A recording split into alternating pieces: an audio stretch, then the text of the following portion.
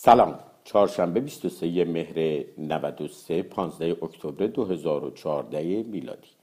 در مورد پنج موضوع امروز صحبت می‌کنیم. موضوع اول این که 350 کارگر فاسای 17 و 18 اصلویه دست به اعتصاب زدن. کارگرها از تیر ماه حقوق نگرفتند و مرخصی دو نیم روز در ماه رو که طبق قرارداد باید به اونها داده بشه طلبکار.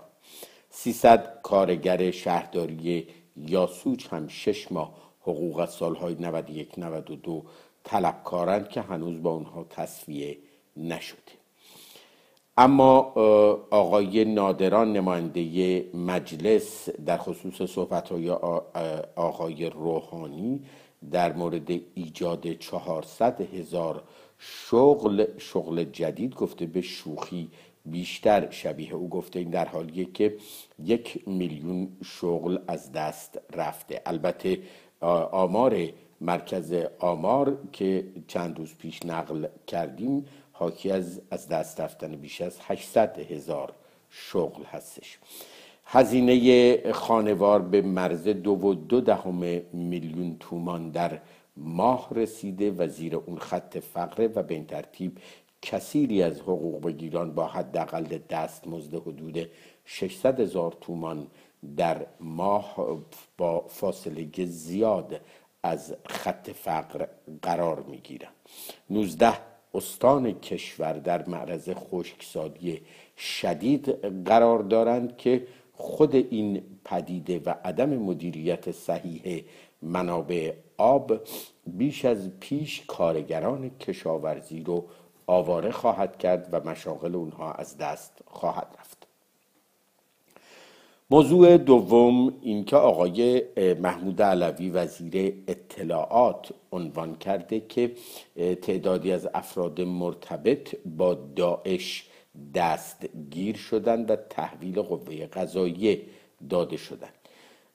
این در حالیه که خیلی ها معتقدند به این بهانه سرکوب اهل تسنن داره صورت می‌گیره و در کرمان چهار طلبه مدرسه منبع العلوم اهل سنت در شهر سرباز دستگیر شدند فرماندهان ارشد 20 کشور عضو اتحاد علیه داعش در واشنگتن در پایگاه هوایی اندروز گرد هم اومدند و به تبادل نظر پرداختند گفته میشه غیر از رئیس ستاد ارتش امریکا آقای دمپسی آقای اوباما هم در این جمع شرکت خواهد کرد و برای اونها صحبت خواهد کرد.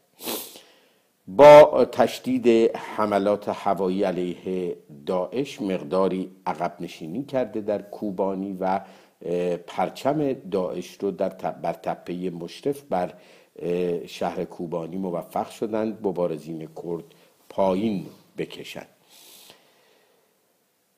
در عراق برعکس داعش رو به پیشروی است. در حدود 25 کیلومتری بغداد به زد و خورد مشغوله و فرودگاه بغداد در معرض تهدید قرار داره.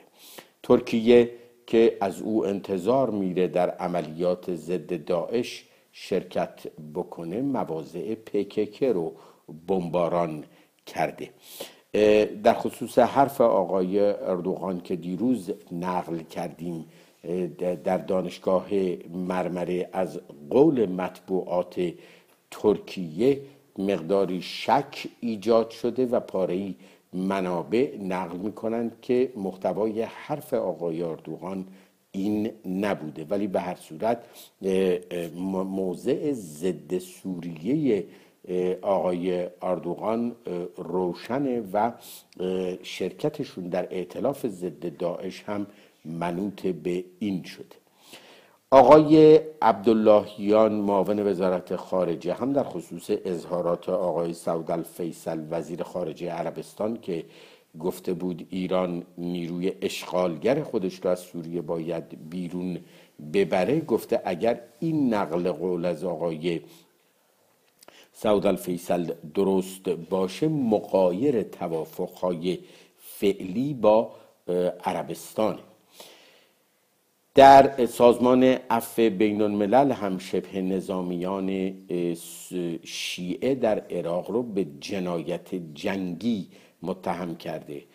گفته که اینها پاره افراد اهل تسنن رو سرشناس رو میدزدند تقاضای باج می‌کنند گاهی تا هشتاد هزار دلار و گاهی هم علا رقم که خانواده ها پول رو تأمین می‌کنند باز هم اونها رو می‌کشند و جنازشون رو رها موضوع سوم این که آقای جان کری وزیر خارجه امریکا اظهار کرده که رسیدن به توافق با ایران تا 24 نوامبر دور از دسترس نیست. آقای لاروف وزیر خارجه روسیه هم گفته که انتظار داره که تا 24 نوامبر پنج به اضافه یک با ایران به توافق برسه. این در حالیه که الحیات از قول منابع نزدیک به آقای اوباما نقل کرده که ایشون گفته رسیدن به توافق تا 24 نوامبر دور از دسترسه و بعیده. آقای لاروف و کری با هم ملاقات داشتند. در خصوص مسائل مختلف صحبت شده. آقای لاروف اظهار نظر کرده که اروپا از تحریم روسیه چهل میلیارد یورو ضرر خواهد کرد.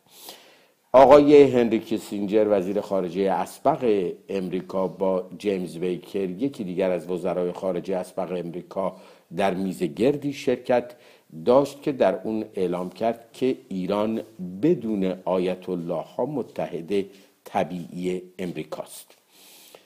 موضوع چهارم این که هفت نماینده مجلس از طیف اصولگراها و نه تندروهای پایداری که امثال آقای توکلی و نادران و نجابت و کوسری در میان اونها هستند نامه‌ای به آقای مقیس رئیس دادگاه مهدی هاشمی نوشتند و از او خواستند که محاکمه مهدی هاشمی علنی باشه. آقای صدیقی امام جمعه تهران هم در تعنی آشکار به آقای رفسنجانی گفته بعضی از محبان ولی فقیه منافق هستند.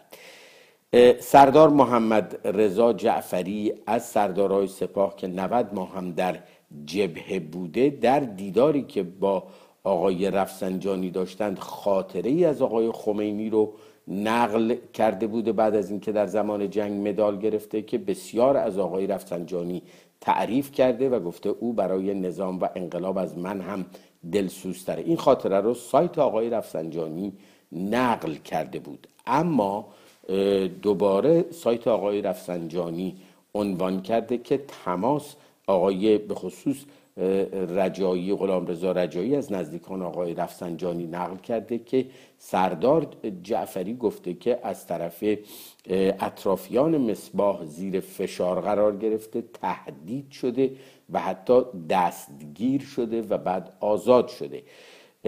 به هر حال سایت بیباک نیوز از سایت های نزدیک به جبهه پایداری این حرف ها رو از قول این سردار سپاه تکذیب کرده و گفته که او گفته اصلا من در ایران نبودم و مرخصی بودم سفر بودم در اون ملاقات نبودم.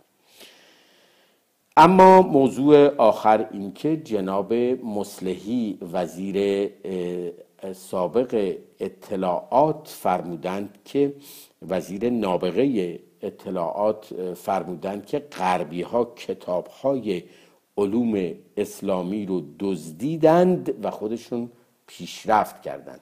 ایشون از خودش نپرسیده که خب مسلمین که این کتاب ها دست خودشون بود مال خودشون بود چرا پیشرفت نکردند؟ دندکی سب سهر نزدیک است تا فردا شاد پیروز موفق و سرفراز باشید. به امید پیروزی ایران و ایرانی.